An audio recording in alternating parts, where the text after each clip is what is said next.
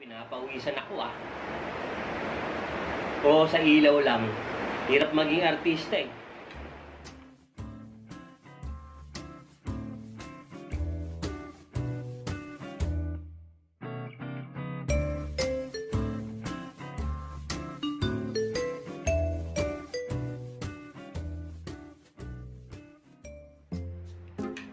Ba? May laban tong.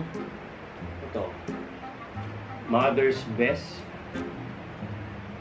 Super Hot Sauce. May laban siya. Pero kulang. Uy. So, yun. Magre-review tayo ng hot sauce. Ayan, may laban. May laban siya pero mas masarap siya pag marami. Yung mararamdaman mo talaga yung sipa nung ano, sili. Ayan oh. Hey! Naku po!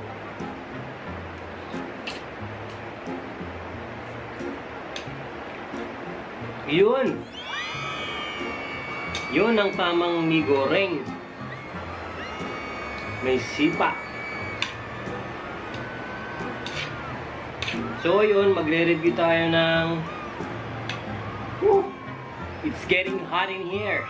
Magre-review tayo ng hot sauce na locally made, gawa ng mga tropa.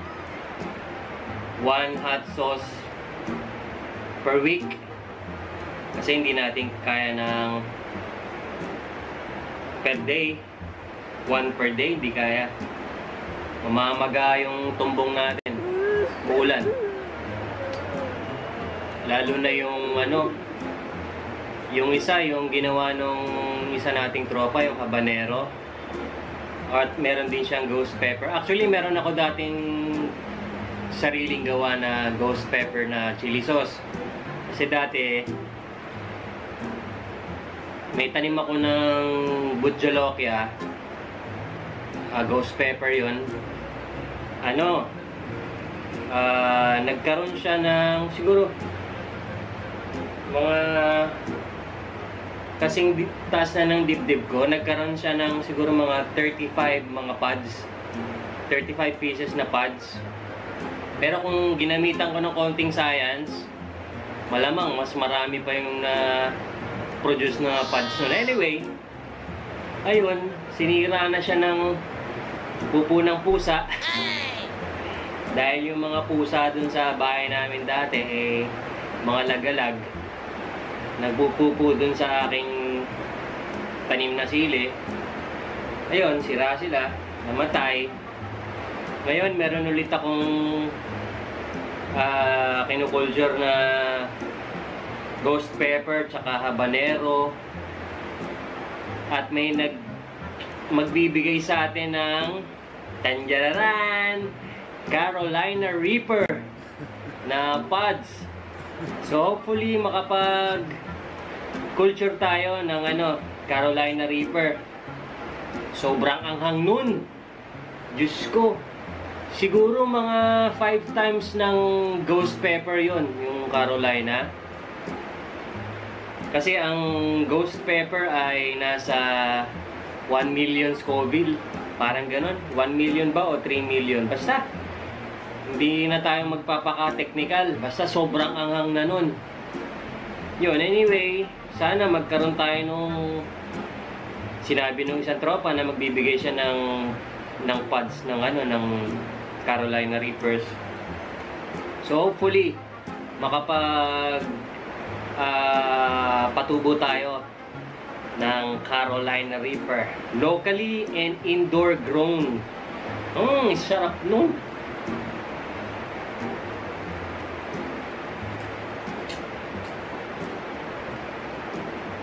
Mmm.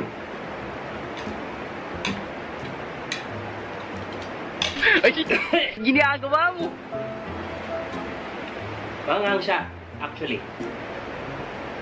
Pero kung yung ghost pepper to, ahay, ramdam ko na. Pero umiinit dito ah, pinapawisan ako ah. O sa ilaw lang, hirap maging artista eh.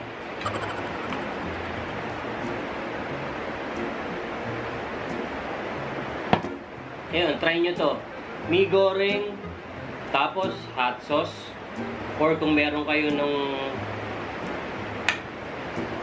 yung talagang hot sauce, mga tabasco, hmm, try nyo. O kaya sriracha, may sriracha rin dyan, pero eto, okay na.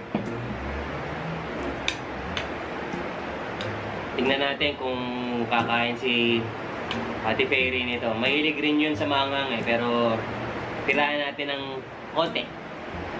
Patikim natin tong mi goreng na may hot sauce.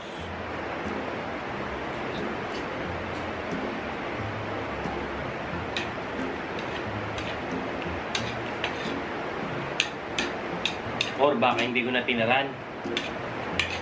Baka hindi ko na siya tirahan. At baka ubusin ko na. Minsan lang to eh. Alam mo yon parang guilty pleasure lang to eh. Hindi kasi pwedeng araw-araw. Minsan, mga once a month, okay na. Wag, wag yung araw-araw tapos pansit canton araw-araw.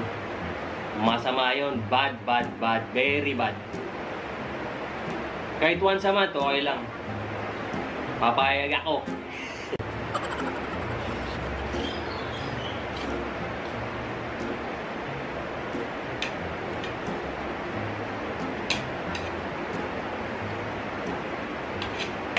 Hindi, tira na lang natin si Ate Ferry.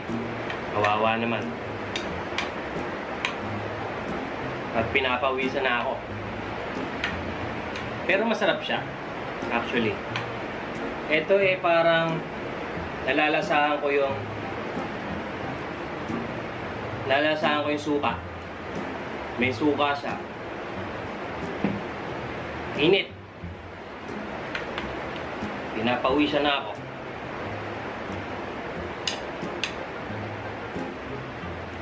Good luck sa tumbong.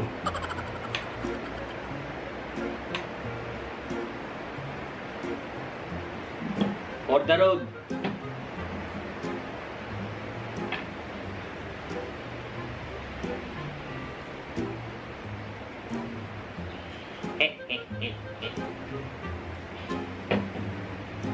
For the road.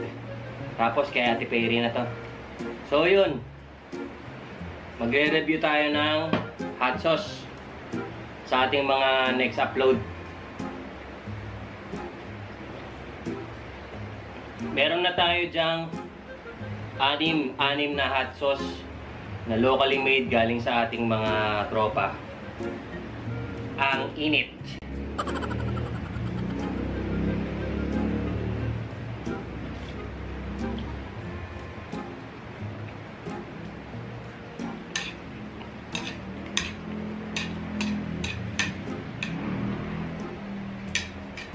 Yan, tira na natin kay ate. Yung re-reviewin natin ah, once every week pa ulit-ulit ako.